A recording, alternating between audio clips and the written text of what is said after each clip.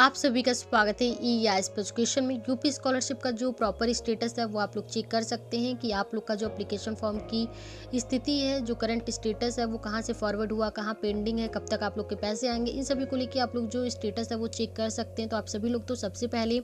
अपने स्टेटस को चेक कर लीजिए। जिन्होंने भी अपने स्टेटस को चेक नहीं किया कल शाम में वीडियो आई थी, जो लिंक होगी, वो हम आप लोग को डिस्क्रिप्शन में दे देंगे। वहाँ से जाकर आप लोग सबसे पहले वीडियो देख लीजिए, सारी बातें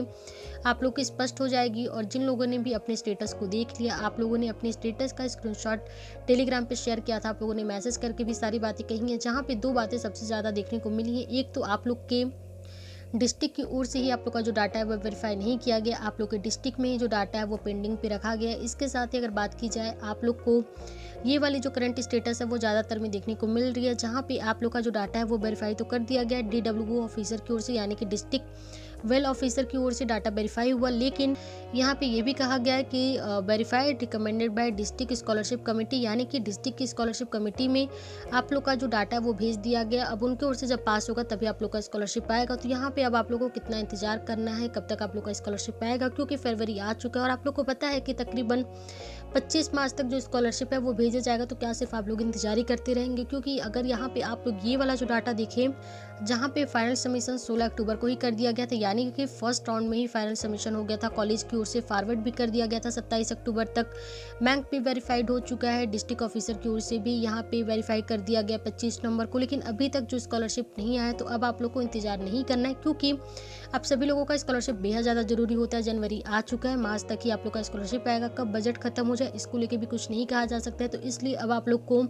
सिर्फ़ इंतज़ार नहीं करना, जो कि हमने आप लोग को कल ही कहा था कि दो तीन काम आप लोग को करना होगा, लेकिन यहाँ पे अब आप लोग को प्रॉपर शिकायत दर्ज करना होगा अपने स्कॉलरशिप को लेके कि आप लोग का स्कॉलरशिप जल्द से जल्द भेजा जाए, जब सब कुछ हो चुका है फॉरवर्ड हो चुका है बैंक वेरीफाई हो चुका है, आप लोग के डिस्ट्रिक्ट से फॉर्म को वेरीफाई कर दिया गया तो फिर आप लोग के पैसे कब तक आएँगे? तो इसको लेकर अब आप लोग को शिकायत करना है। किस तरह से शिकायत करना है, इसको लेके आप लोग को सारी बातें स्टेप बाय स्टेप बता तो यहाँ पे सबसे पहले तो आप लोग को ऑफिशियल वेबसाइट पे आना है। जिस ऑफिशियल वेबसाइट पे आना है, उसका लिंक हम आप लोग को डिस्क्रिप्शन में दे देंगे और ऑफिशियल वेबसाइट का नाम है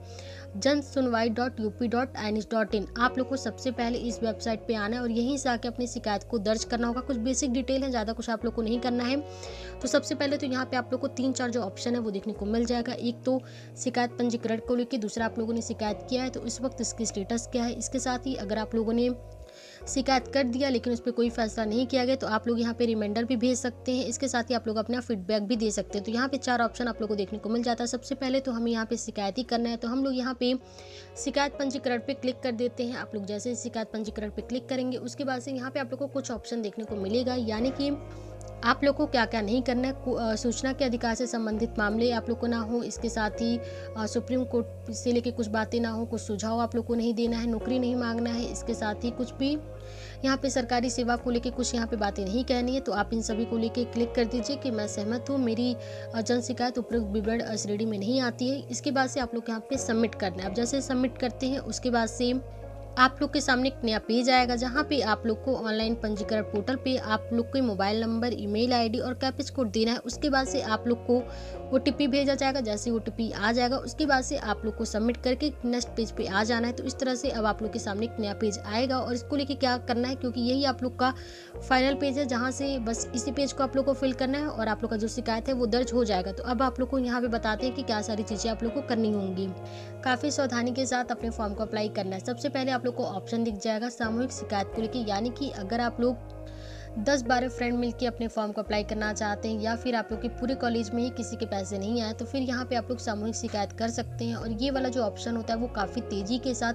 जो काम है वो किया जाता है। आप लोग को काफ़ी तेज़ी के साथ आप लोग के शिकायत पे जो फैसले हैं वो लिए जाते हैं तो इसलिए आप लोग सामूहिक शिकायत भी कर सकते हैं। इसके अलावा अगर आप लोग इंडिविजुअल भी करना चाहते हैं तो भी आप लोग इजली कर सकते हैं। तो सबसे पहले यहाँ पर आप लोग को अपना नाम, इसके साथ ही अपनी पति या फिर पिता का नाम आप लोग को देना है। जेंडर सेलेक्ट करना है मोबाइल नंबर और ईमेल आईडी वो ऑटोमेटिक यहाँ पे फिल रहेगा। फिर आप लोग को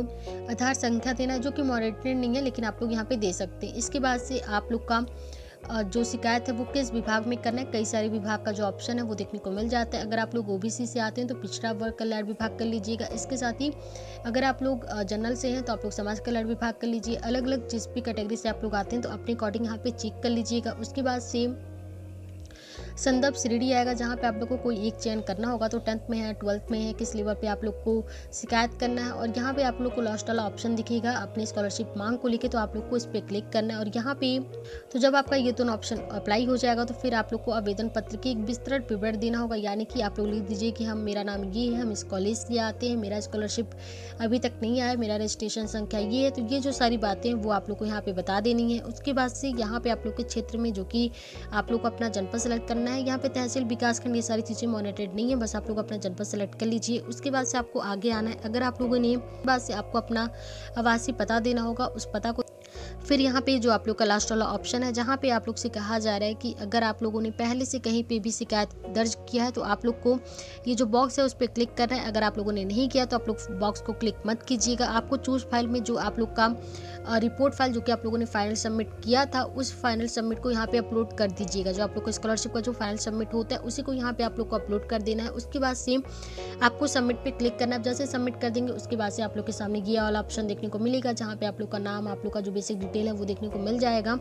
उसके बाद से आप लोग को ओके कर देना, आप लोग की शिकायत संख्या क्या, वो जो सारी चीज़ें आप लोग को पता चल जाएँगी। इस तरह से आप लोग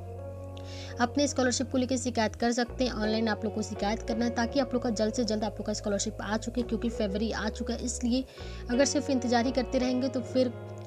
हो सकता है कि आप लोग सिर्फ़ इंतज़ार ही करते रहें, आप लोग का पैसा ना आए, इसलिए अब आप लोग को इंतज़ार ना करके शिकायत करना होगा। बाकी